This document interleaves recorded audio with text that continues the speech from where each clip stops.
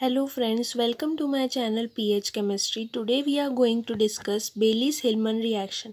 We will see what is Baylis-Hillman reaction, what is the mechanism of this reaction. We'll understand some examples related to it and lastly we'll get tricks related to this reaction. So let's get started. What is Baylis-Hillman reaction? So the Baylis-Hillman reaction is between the activated alkene.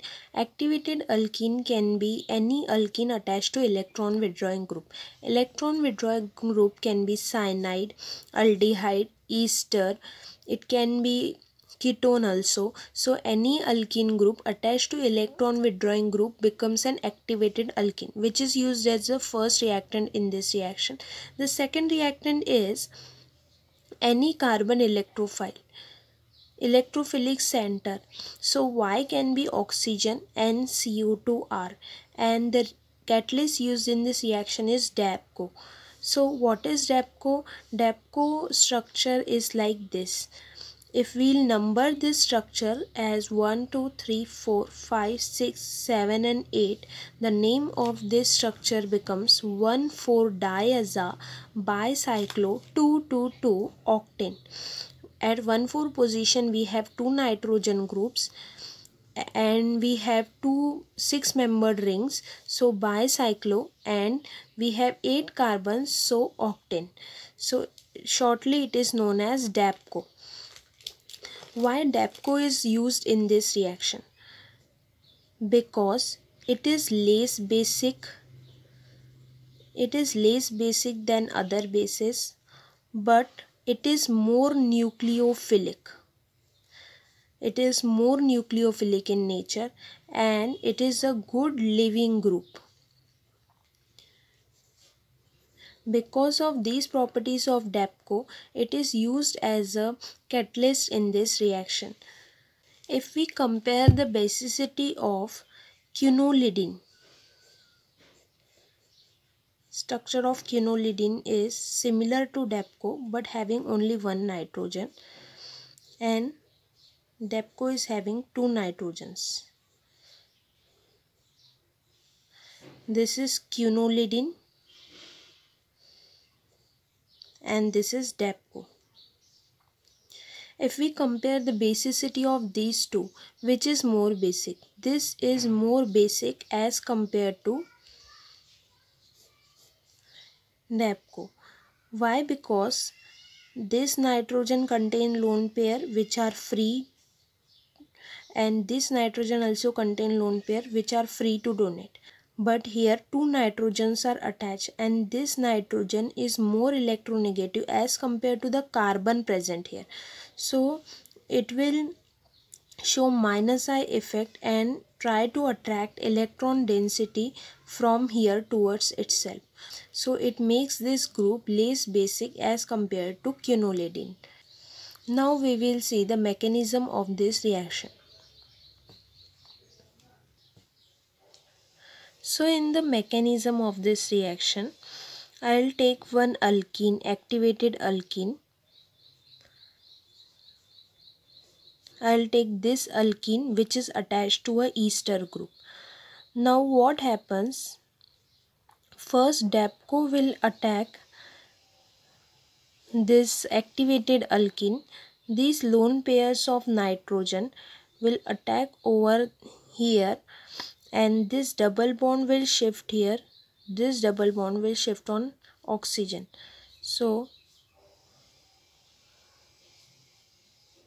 negative charge will come on this here the double bond is present and to this uh, carbon a nitrogen is attached as the valency of the nitrogen is 4 now so positive charge will come here now this uh, oxygen will try to restore itself so the second reactant comes into action here. A second reactant is aldehyde or ketone. We'll take aldehyde here. So when this negative charge is restored, this double bond attack on the electrophilic carbon and this will goes here. So what is the product? The product is like this. This remains as it is. Positive charge. Now this carbon becomes attached to this aldehyde. So this structure becomes like this. Now next step is of protonation. So in the next step protonation will takes place and the remaining structure will remains as it is. Protonation of this oxygen. This is the dabco. Like this. Now here the hydrogen is present. There are two possibilities that OH will remove or this DABCO will remove. But as compared to OH DABCO is a good leaving group. So what happens is DABCO will remove in preference to OH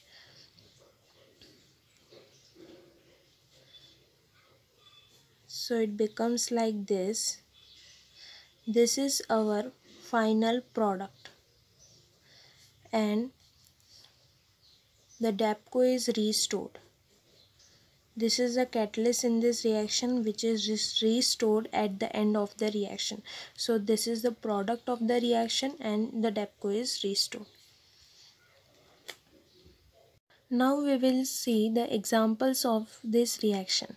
First example you can see is this is the aldehyde and this is activated alkene and our catalyst is DABCO simply the first trick is what we have to do just at this hydrogen of the alkene we have to attach this carbon to this electrophilic group and we have to convert this double bond to OH. So what will be the product?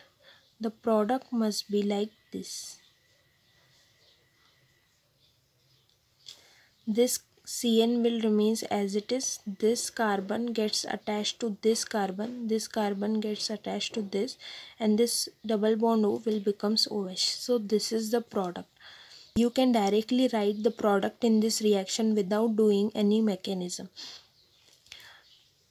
So this is the trick number one. Here in this reaction you can see this is the aldehyde and this is activated alkene and DABCO is present. So Baylis-Hillman reaction will takes place. Now according to trick number 1 write the product. This OH will remains as it is. This double bond O will becomes OH and this carbon gets attached here. But now you can see here oxygen contains lone pair. So oxygen attack here. This double bond will shift here. This OH will remove. So the product is like this.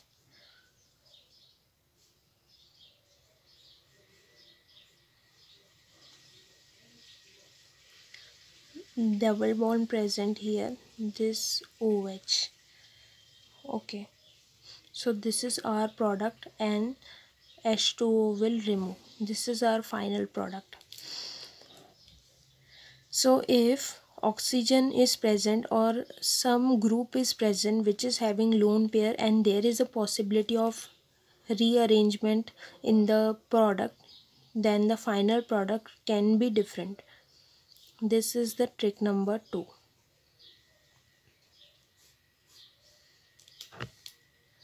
third question is this here also we took aldehyde activated alkene, Baylis-Hillman reaction will takes place according to trick 1. Try to write the product. Just this double bond O will convert it into OH and this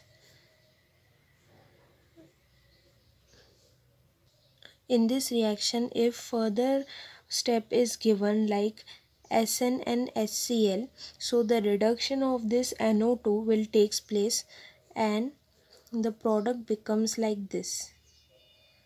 OH this NO2 will reduce to NH2 then or Fe and this both the NO2 are converted into NH2 now NH2 contain lone pair.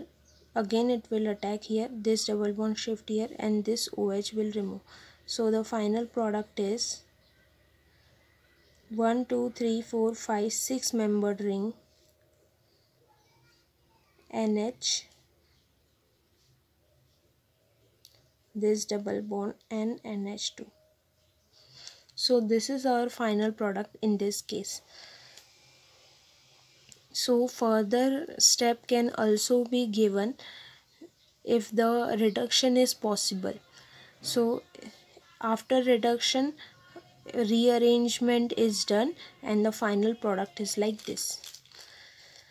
Here you can see we have only one reactant but this is also a Baylis-Hillman reaction. Intramolecular Baylis-Hillman reaction means the reaction taking place in only one reactant within only one reactant. So here you can see this is our ketone this is our ketone and this is our activated alkene so both the reactants or substrates are present in only one reactant so what we do is just attach this carbon to this carbon and convert double bond O to OH. We try to write the product of this reaction. This will be 5 membered ring. Here double bond is present. This double bond O is converted to OH. Okay and CH3 is present. Double bond remains as it is. R remains as it is. Stereochemistry will retain in this reaction and this is our product. So in this way intramolecular Baylis-Hillman reaction takes place. So the trick number 4 is stereochemistry will not change in Baylis-Hillman reaction and we can also do intramolecular Baylis-Hillman reaction. So this is it. We have understood the tricks so this is it for today. I'll meet you in the next video with a new reaction. Till then, if you have any questions, any queries, you can write in the comment box. Thank you so much.